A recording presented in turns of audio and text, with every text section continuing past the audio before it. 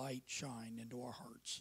I pray that you'll anoint this offering, bless it today for the intended purpose in Jesus' name. Amen. You may be seated. I'm going to the book of Hebrews, the sixth chapter. I'm going to deal with a subject that I've been wanting to deal with for a while. I've been asked this question on several occasions about this, and it's one of those subjects that there really isn't, um, there's not a one paragraph or one sentence answer that really answers uh, this type of a question or this subject. And there's a lot of subjects that people come and they want to know what does the Bible mean when it says this or what does it mean uh, in this scripture. And you can't just say, well, it means such and such because some of those things they do require a Bible study uh, to get into them. And this is one of those subjects. We're going to be talking about um, tonight about um, uh, perfection.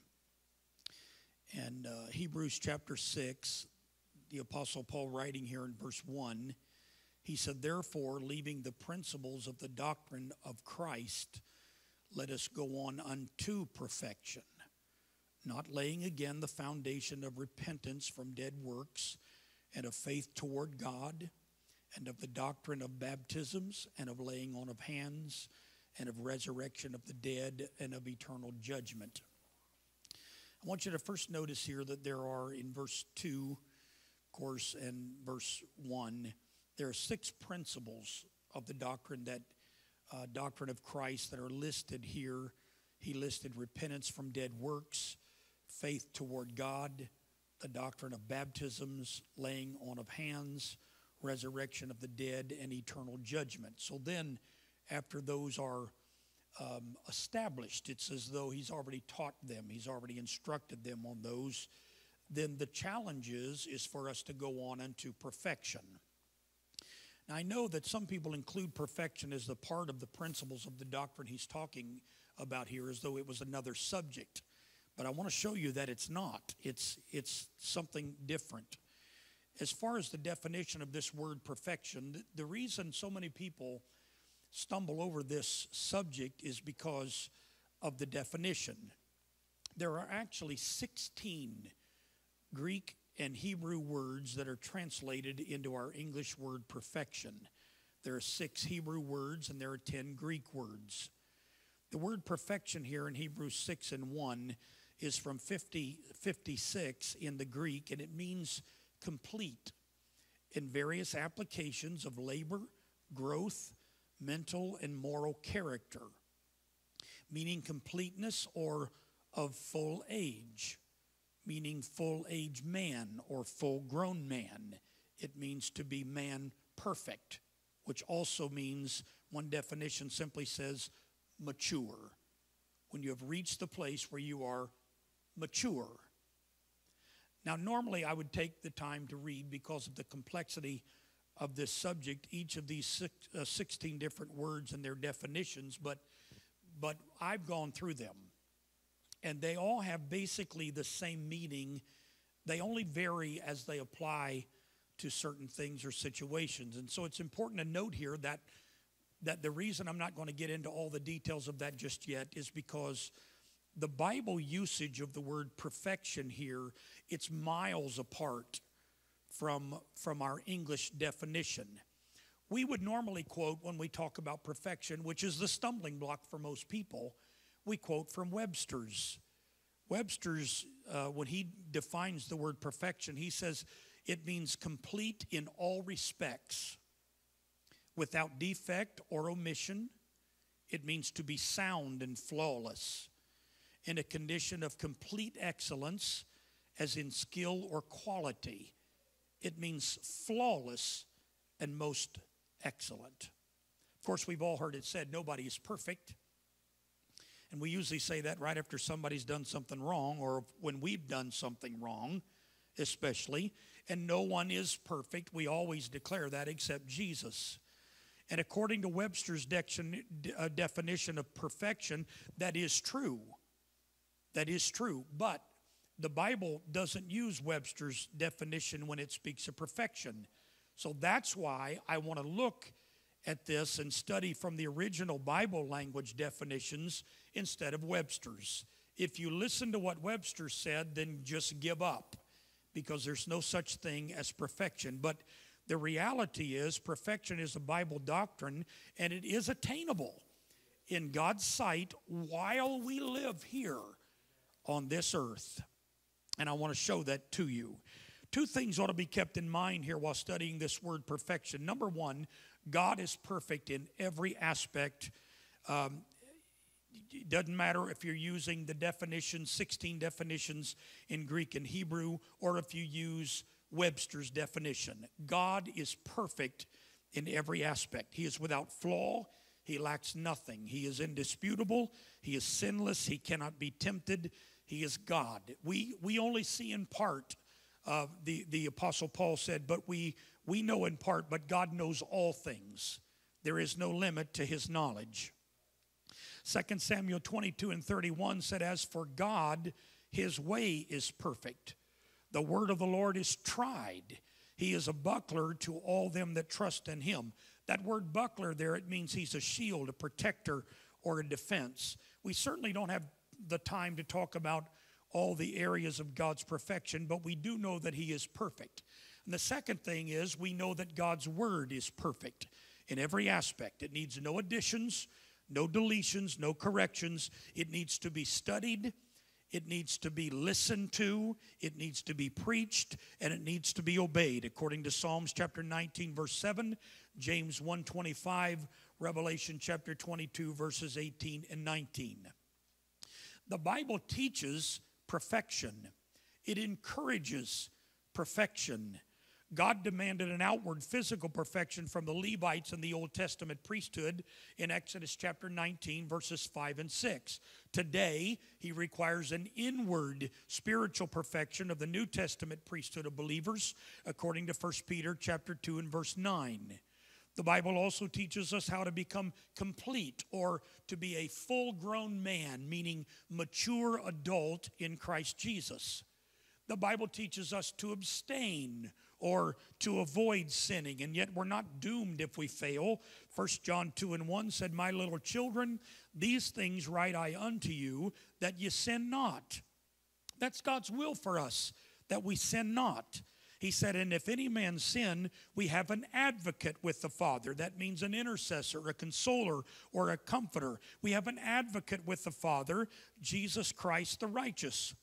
And he is the propitiation, meaning our atonement for our sins, and not for ours only, but also for the sins of the whole world. So God knew from the very beginning that we would that we would and we do fail. He knew that we would all fail. In fact, I don't have time to go into all the scriptures that tell us that we're all sinners. Amen. We all fail. But perfection doesn't indicate that we are flawless and we are sinless individuals that never has or never will fail God. It doesn't mean that. When a true saint of God fails, even when they are constantly striving not to fail, they quickly go to God in repentance. They're mature. They know where to go. Even to their fellow man, if they've wronged them, they go there because they want to be right with God. That's maturity. That's perfection. I'll get into that a little bit more here in just a moment. But when Christians are willing to do that, they're doing what is righteous, they're doing what is right. And when they strive to obey God's word, to be a better saint, to follow peace with all men and holiness, that proves that they are perfect or they are mature in the eyes of God. It doesn't mean you won't make mistakes, but when you're mature, you don't hide from them. When you're mature, you don't try to cover them up. When you're mature in Christ, you go try to make it right. That's what he's talking about. So, God's will for our life, when he says he wants us to be perfect, it simply means being mature, being full grown, or being complete in Christ. When you're wrong, you need to accept responsibility for what you've done and then move on. Those that fail to grow up, those that fail to correct the mistakes that they've made, Those that refuse to walk in obedience to the word of the Lord, they're babes. The Bible called them carnal and they're unskilled in the word. Hebrews chapter 5, verse 12, Paul said, For when for the time when ye ought to be teachers, ye have need that one teach you again, which be the first principles of the oracles of God, and are become such as have need of milk and not of strong meat. For everyone that useth milk is unskillful in the word of in the word of righteousness, for he is a babe. I've told you this story before, but a pastor told me several years ago that there was a new convert in their church that went to a women's conference with a bunch of women in the church. They all rode in the church van together, and somehow in this trip, the subject came up of women cutting their hair. And these women that had been in the church for many years they were talking about how they have figured out a way to cut their hair without anyone noticing it.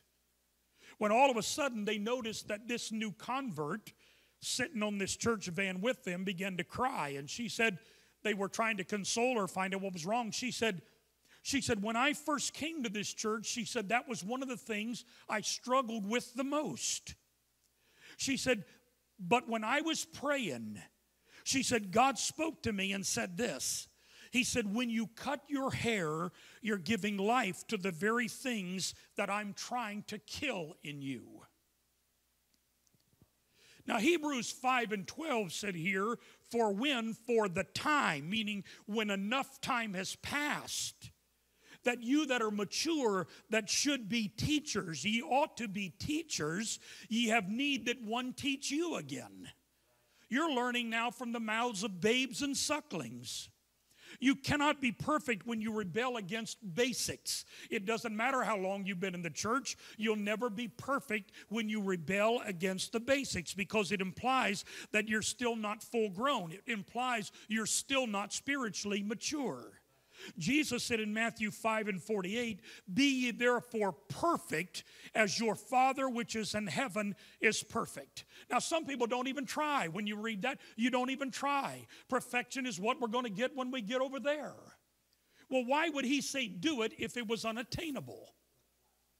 We're thinking about Webster's definition of the word perfect.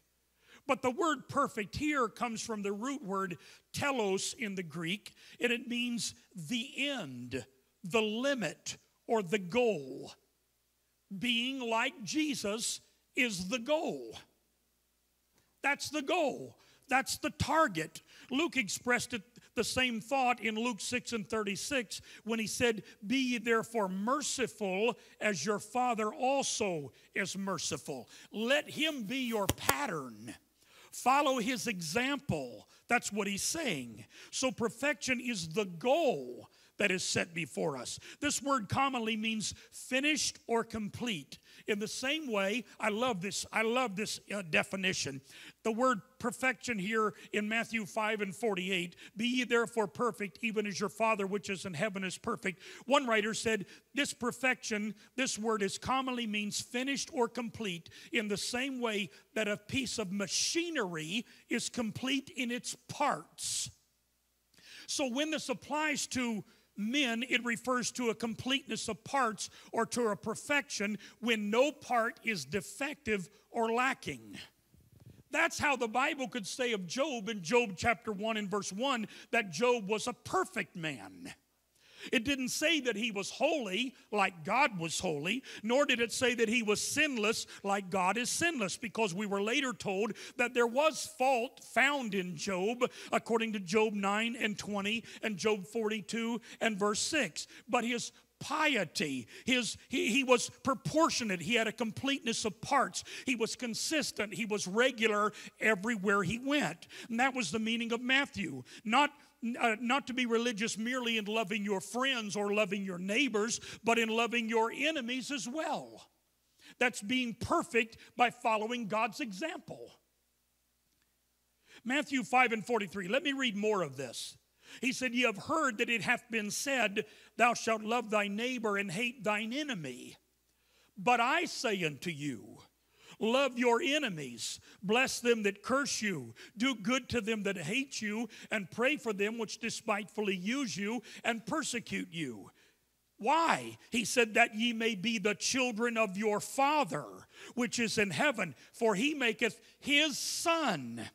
S U N, his sun to rise on the evil and on the good, and sendeth rain on the just and the unjust. He's saying you need to follow his example. It's easy to love people that love you, but try loving people that hate you.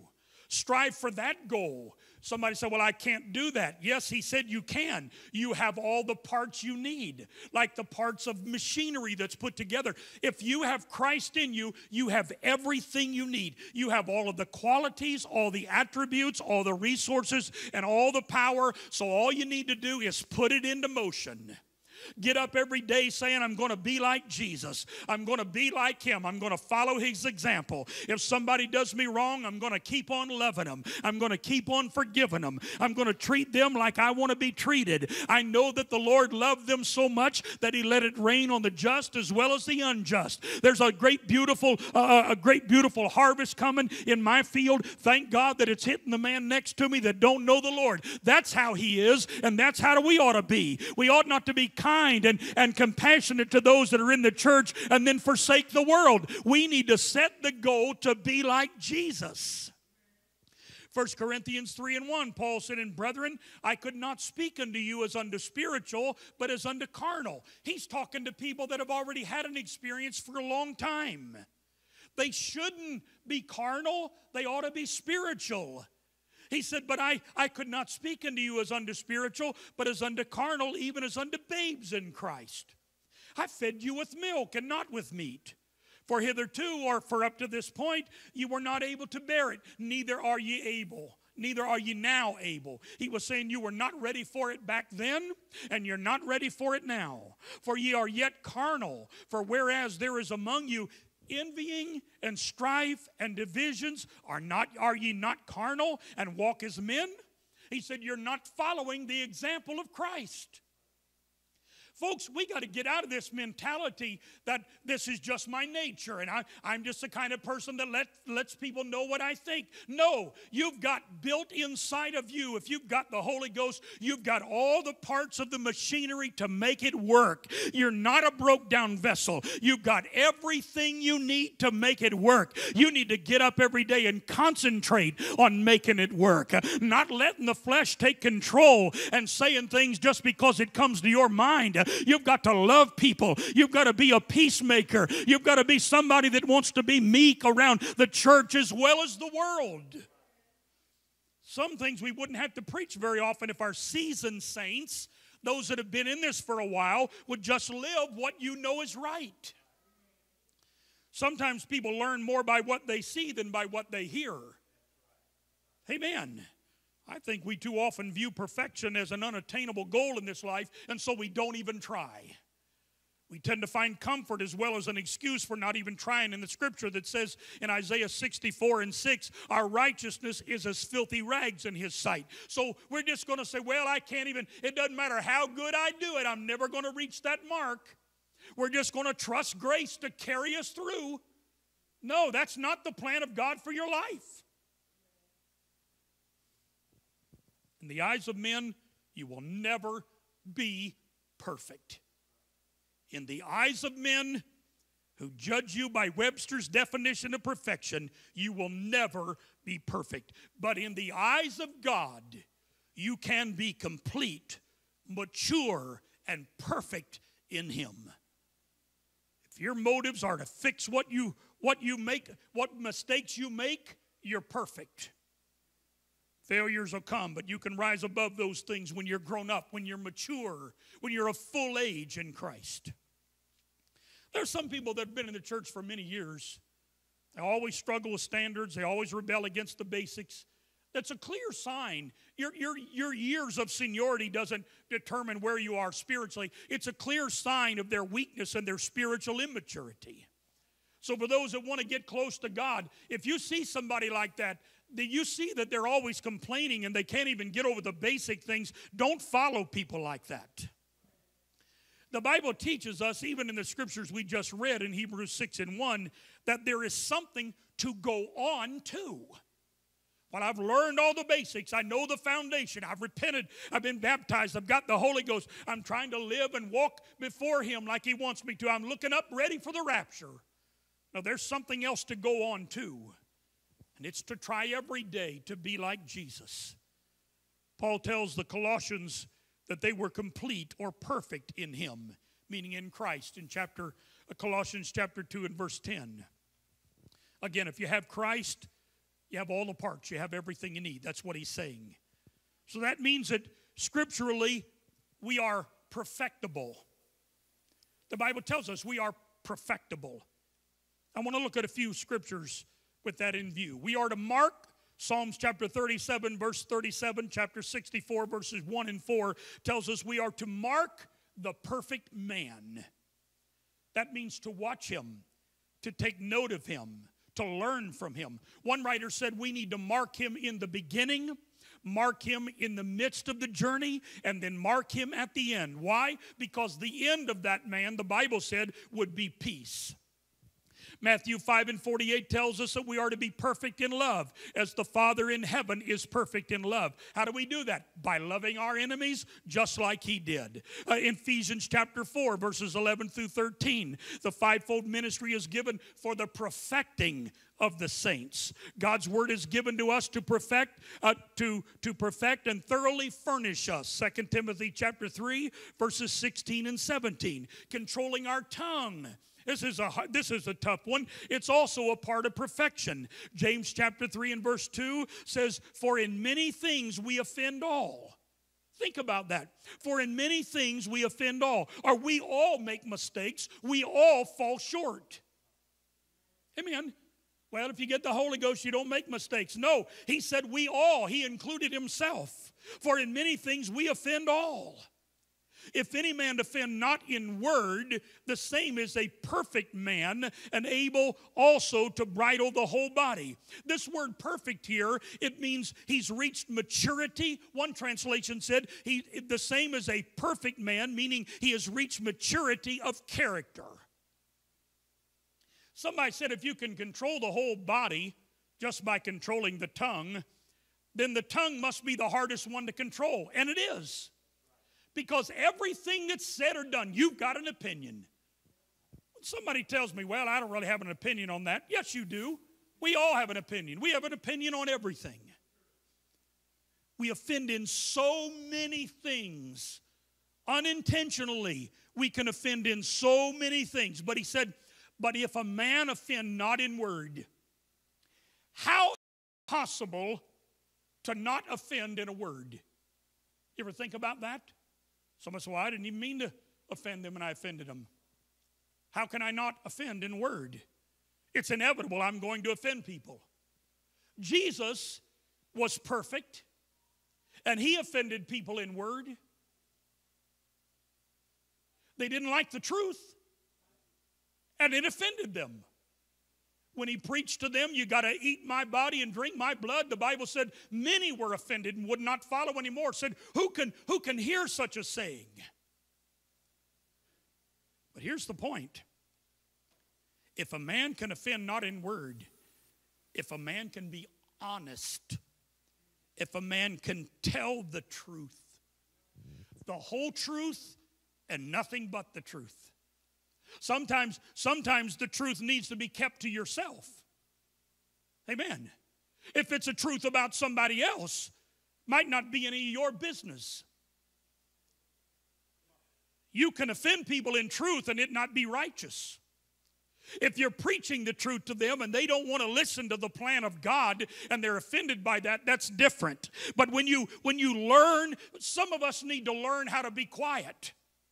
If you can just be quiet, don't say anything. It's better than saying something that's going to offend. It's better to offend in silence than to offend in a word. He said, if a man can, can, can offend not in a word, the same as a perfect man. The same man has reached maturity of character, and he's going to be able to, one translation said, he will appear to be able to bridle the whole body.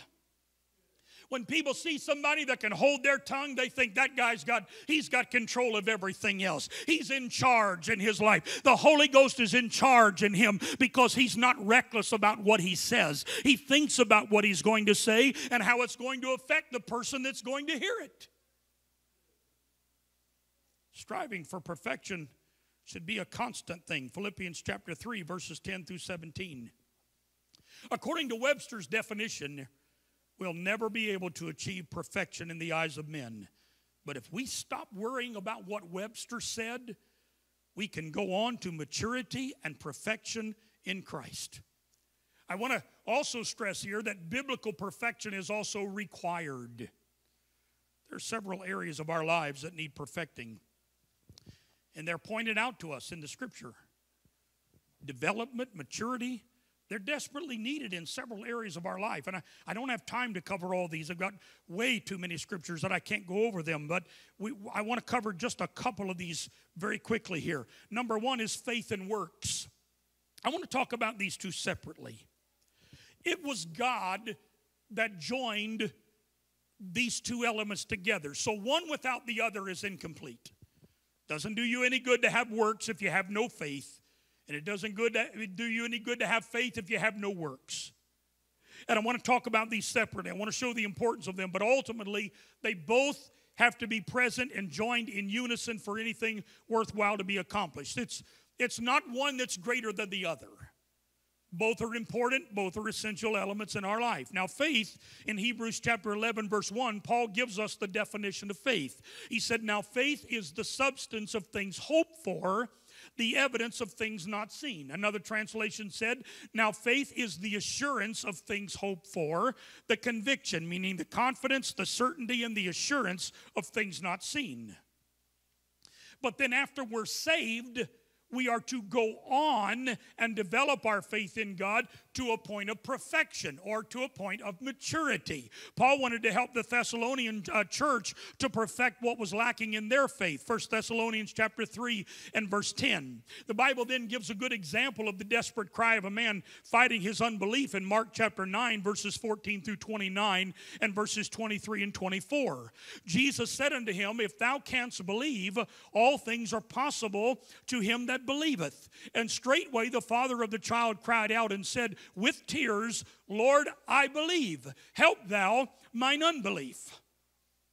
I, I believe you can do it, but help thou my unbelief. James told us we are to ask God in faith with nothing wavering. James chapter 1, verses 5 and 6. We're told to hold fast the profession of our faith without wavering in Hebrews chapter 10, verse 23. James also told us that Abraham's faith was perfected by works, and faith without works is dead. James chapter 2, verses 14 through 26. God wanted our faith in Him to be mature to the point that we trust Him regardless of what He does, regardless of whether the answer is okay or not now or never. We still, we're going to trust God and obey Him whether it's the right answer that we wanted or not. And we, we, we, hear, we pray a lot of prayers and believe God for things. And a lot of things we think He did not answer. He did not tell us what we wanted to know or what we wanted to hear. But that doesn't mean He didn't answer, and that doesn't mean that He may not answer. The truth is, God knows what He's doing. And when you're mature in your faith, you say, like Job said, The Lord giveth and the Lord taketh away, but blessed be the name of the Lord. I'm full grown. I've been in this long enough to know I'm not going to complain and murmur when the answer's not what I want it to be. I'm going to trust that God knows best. He knows what I need today, but He also knows what I need tomorrow. He knows the consequences of giving me what I want. And thank God for the unanswered prayers. Thank God for the times He said no. Thank God for the times He said not now. This is not right for you. And I want to be mature enough to say He gives and He still takes away. But blessed be the name of the Lord. The second thing, the partner of faith is works. God expects us to put hands and feet to our prayers and our faith. Someone said one time, works is the spirit or the life of faith. I like that. Works is the spirit or the life of faith. James 2 and 26 tells us without works, Our faith being alone, if it doesn't have the partner, it's dead. It's dead. Faith without the partner of works is dead. Again, Abraham's faith was said to be perfected by his works, James 2 and 22. Hebrews chapter 13, verses 20 through 21 tells us that God wants us, God wants to make us perfect in every good work to do his will. The rich young ruler that Jesus spoke to, he did many good things, but he was still imperfect in what God wanted him to do. Matthew chapter 19, verse 21. God told the church at Sardis that their works were not perfect before him, Revelation 3 and 2. We know that there is a direct correlation between faith and works, according to Romans chapter 4, Galatians chapter 3, and James chapter 2. But what about a perfect heart? What about a perfect heart? Several Old Testament, New Testament characters were good examples of what God's expectations were as far as our heart is concerned. Solomon exhorted Israel to let their heart be perfect before God. 1 Kings 8 and 61, he said, Let your heart therefore be perfect with the Lord, with the Lord our God, to walk in his statutes and to keep his commandments as at this day. Just be obedient. That's an element of perfection. Of course, we know that first according to 1 Kings chapter 11, strange women turned Solomon's heart away from God because the Bible said in verse 4 that his heart was not perfect with the Lord. David warned Solomon to serve the Lord with a perfect heart. First Chronicles chapter 28 and verse 9. Abijam, who was the king of Judah, he didn't have a perfect heart before God either, according to 1 Kings chapter 15, verses 1 through 3. Hezekiah turned his face toward the wall and reminded God that he had a perfect heart before the Lord. In 2 Kings chapter 20, verses 1 through 7, 2 Chronicles chapter 32, verses 24 through 31. Amaziah, who was the king of Judah, the Bible said he did that which was right in the sight of the Lord. 2 Chronicles chapter 25, verses 1 through 2, but not with a perfect heart. One translation said he did it, but he resented it. Our motives are important about even what, whatever you're doing for the kingdom of God. Your motives are just as important to God as your actions are. God will show himself strong to those whose hearts are perfect according to Second Chronicles 16 and verse 9. Psalms chapter 101 and verse 1 through 3. God cares about your motives. You can give to the poor, but if you gave to be seen, then it doesn't matter. You might as well not have given. But if you give with the right motive, it's perfect before the Lord. We are to love God, the Bible said, with all of our hearts. Luke chapter 10, verse 27, Deuteronomy chapter 6 and verse 5. Jesus spoke about those things that come from the heart. Listen to this. He wanted us to guard the heart from those things. Mark chapter 7, verse 20. And he said, That which cometh out of the man, is that that defiles the man. For from within, out of the heart of men, proceed evil thoughts, adulteries, fornications, murders, thefts, covetousness, wickedness, deceit, lasciviousness, an evil eye blasphemy, pride, and foolishness. All these evil things come from within and defile the man. We have to guard our hearts. The things that come out, some of it's the, the Adam nature born into us, but a lot of it is what we allow to come in and take root. It's not just what you do with your body. It's not what you do just on the outside, it's what your thoughts and intents are. God knows those just as well. We have to guard our hearts. The Bible tells us that the early church served God with one heart or singleness of heart. Acts chapter 2, verse 42 through 47. Acts chapter 4, verse 31 through 37. Ananias and Sapphira were both struck dead because the Bible said their hearts were not right with God. Acts chapter 5, verses 1 through 11. So the fact is that inward maturity and undivided hearts are absolutely essential in our lives if we want to be protected or we want to be perfect in front of uh, in the face of the Lord. Matthew chapter 6, verse 22 through 23. Reuben was was also condemned for having a divided heart in Judges chapter 5 and verse, uh, verse 15. So if he was condemned for that, how could we expect anything less? The Bible tells us that where our treasures are, there will our heart be also. Some people struggle over so much in the church because this is not where their heart is. Amen. People that struggle with their attendance at church, their heart is not here. If your heart was here, you would be here. Amen.